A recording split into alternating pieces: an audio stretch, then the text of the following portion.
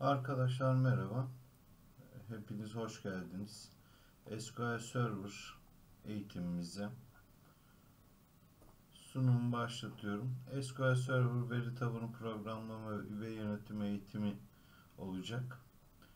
Ee, İlk dersimizde bu eğitimle alakalı burada bir ajandamızı oluşturduk. Ajandamızda bu dersimizde sizlerle paylaşacağım bilgilere yer veriyorum. Neden böyle bir sunum hazırladım derseniz bazı kavramlar var. Bunları baştan birlikte işlediğimiz takdirde daha kolay adapte olacağını düşünüyorum.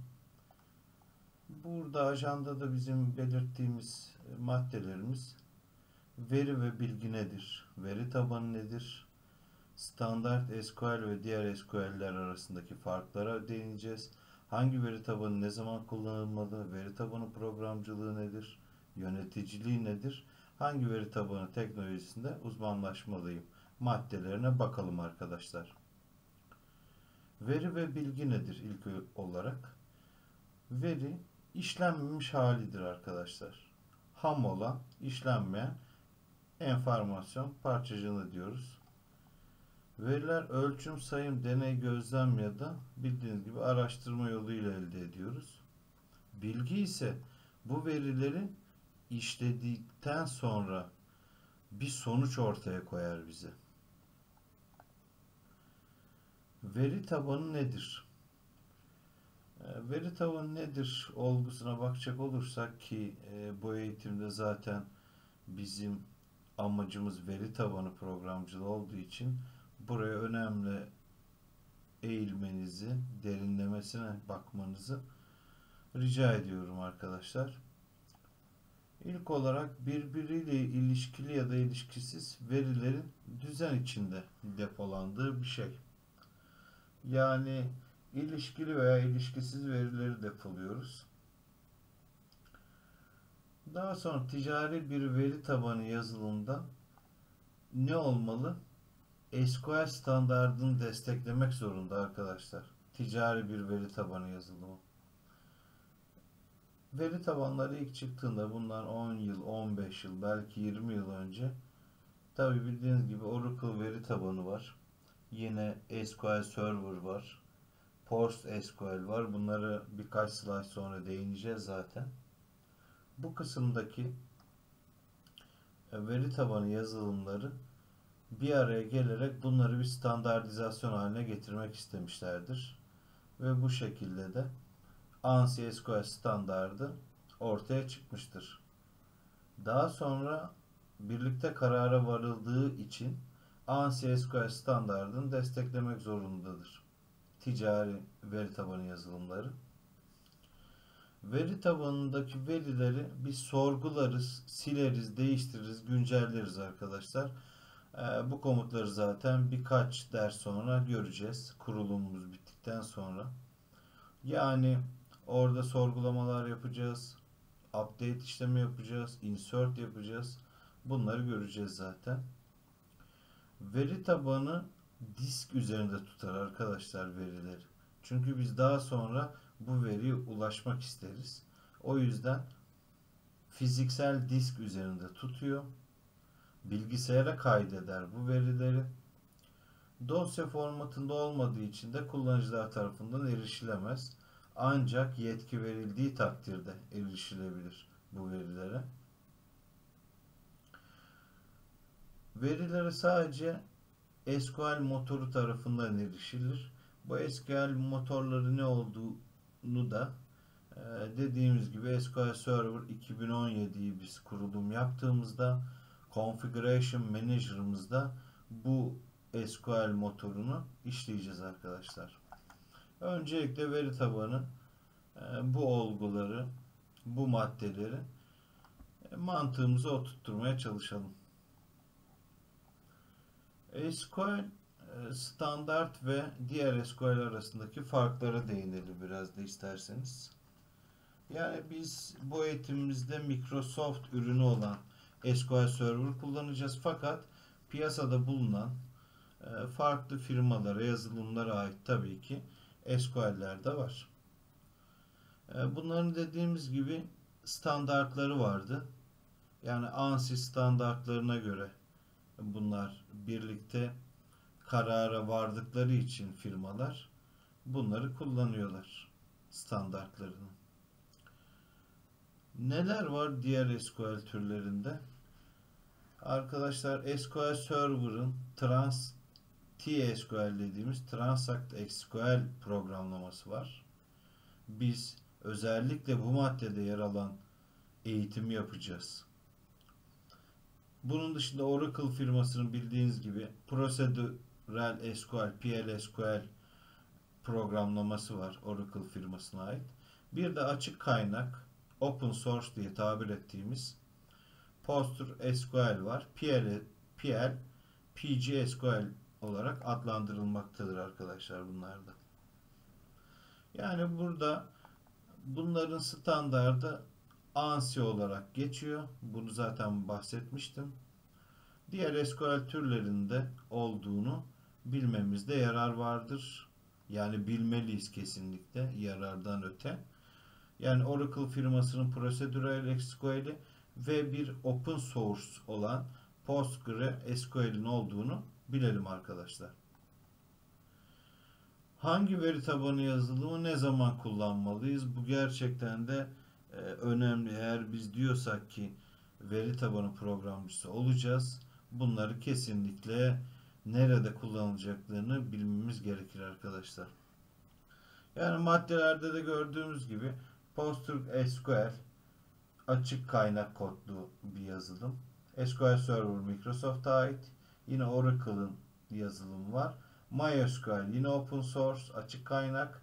NoSQL de açık kaynak veri tabanı yazılımlar arkadaşlar. Biz peki bunları nerede kullanırız? Eğer bir startup girişiminde çalışıyorsanız burada startup projesinde açık kaynak kodlu kullanırsınız. MySQL'i size tavsiye etmem arkadaşlar. Yapısı çok fazla e, kurumsal mimarilere yatkın değildir. PostgreSQL'i kullanmayı tavsiye ederim. Ben de öyle yapıyorum. PostgreSQL ile açık kaynaklı kodlarda yani açık kaynaklı projelerde open source olarak kullanabiliyoruz. Çünkü veri tabanı motoru çok güçlüdür arkadaşlar. Biz open source tercih edersek ne yapacağız? PostgreSQL'i kullanacağız. Arkadaşlar eğer kurumsal bir mimaride çalışıyorsanız yani lisanslı yazılımları tercih etmemiz gerekiyor. Hangileri burada? Tabii ki SQL Server ve Oracle firmalarına ait veri tabanı yazılımlarını kullanmamız gerekiyor. Daha çok Oracle'da Java programlama dili kullanılır. SQL Server kısmında da C Sharp programlama dili kullanılır arkadaşlar. Evet burada da biz hangi veri tabanı ne zaman kullanmalı işledik. Bunları da bence not almanızda fayda olacaktır. Çünkü bu mesleğe giriş yaptığınız takdirde kesinlikle karşınıza çıkacak çok önemli bileşenlerdir, bilgilerdir arkadaşlar. Veri tabanı programcılığına geldiğimiz zaman burada iki sorumuz olacak. Veri tabanı programcısı kimdir? Ne iş yapar? Veri tabanı programcısı hangi teknolojileri bilmelidir? Veri tabanı programcısı veri tabanını programlar. Programatik olarak performanslı çalışmasını sağlar sistemin. TSQL yani bu eğitimde bahsedeceğim TSQL programlama dilini bilmelidir. Özellikle SQL Server mimarisini kullanacaksa veri tabanı programcısı kesinlikle TransSQL dilinin yapısını, işleyişini, komutlarını en ince ayrıntısına kadar bilmelidir arkadaşlar. Peki hangi teknolojileri bilmeli? Özellikle dediğimiz gibi SQL Server'a özgü olan programlama dilini bilmeli. Bu kesin şartımız. O da nedir? TSQL'dir. Bunu çok iyi bilmesi gerekiyor. Ee, bunun altyapısını kullanan e, programlama dilini de bilmeli arkadaşlar. O da C Sharp bildiğiniz gibi Microsoft firmasının yine bir ürünüdür. Bu dediğimiz teknolojileri bilmesi gerekiyor. Ve e, Oracle veri tabanı yazılımı kullanıyorsa e, bildiğiniz gibi Oracle'ın en çok kullanılan yapısı nedir? Tabii ki Java'dır. Java programlama dilini orta seviye dahi olsa belirli bir bilgi düzeyi, uzmanlık seviyesi olmalıdır arkadaşlar bu kısımda da. Başka burada nelerden bahsedebiliriz? Yine Oracle tarafında ise nasıl biz SQL Server tarafında TSQL'i bilmesi gerekiyor, uzmanlık alanı olması gerekiyor diyorsak eğer dediğimiz gibi Oracle firmasının veri tabanı yazılımı kullanıyorsa eğer programcı burada da SQL Plus yani IDE yani bir e, TSQL gibi Microsoft firmasına ait bir IDE'si yoktur ama bunun da komut satırlı bir aracı vardır. O da SQL Plus'tır. Oracle veri tabanı yazılımı kullanıyorsa veri tabanı programcısı. Dediğimiz gibi onun dışında son dönemde çıkan Microsoft firmasının geliştirdiği bulut araçlarını bilmelidir. SQL tarafında kullanılan, SQL Server tarafında kullanılan. Veri tabanı yöneticiliği DBA dediğimiz Database Admin kimdir? Çok iyi veri tabanı programlamacı olarak kendini geliştirmiş, sonrasında ise yönetici olmuş kişidir. Bir veri tabanı yöneticisi çok iyi bir veri tabanı programcısı olmalıdır. Çünkü bildiğimiz üzere veri tabanı sistemini yöneteceği için çok iyi bilmelidir altyapısını, programlamasını.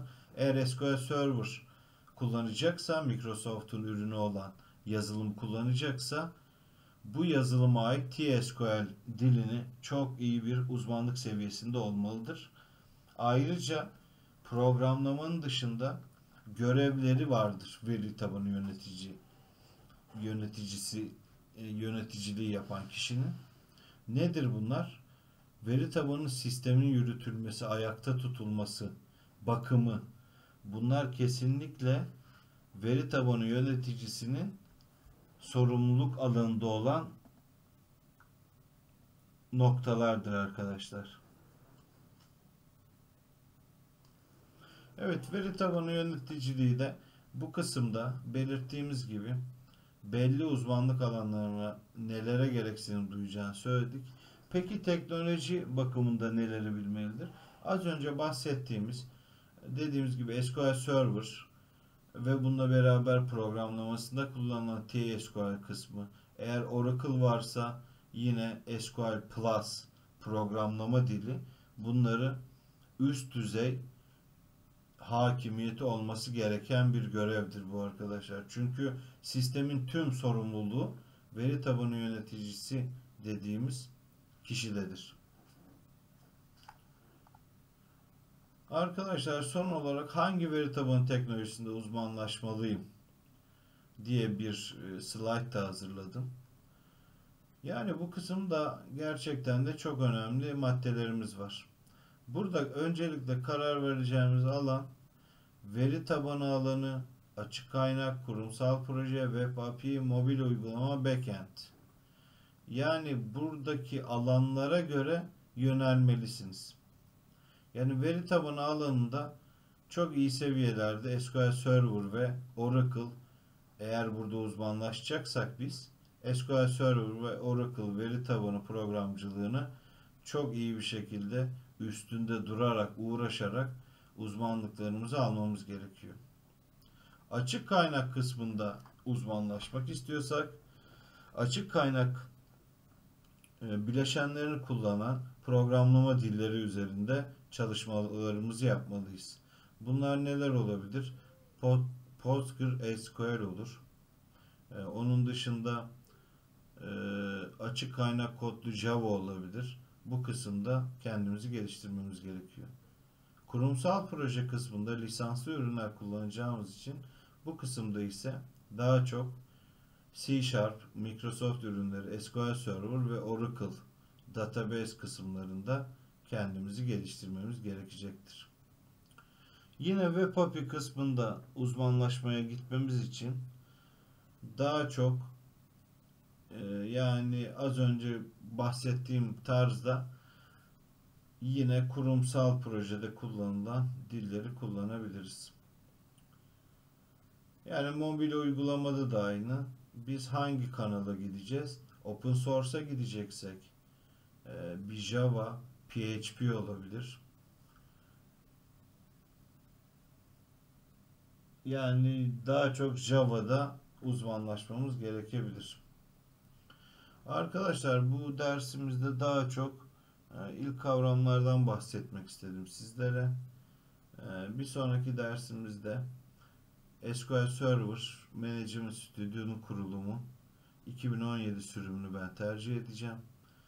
Bu kurulumları yapıp ondan sonrasında ise SQL Server Management Studio aracını kurarak artık SQL Server mimarisine giriş yapmış olacağız.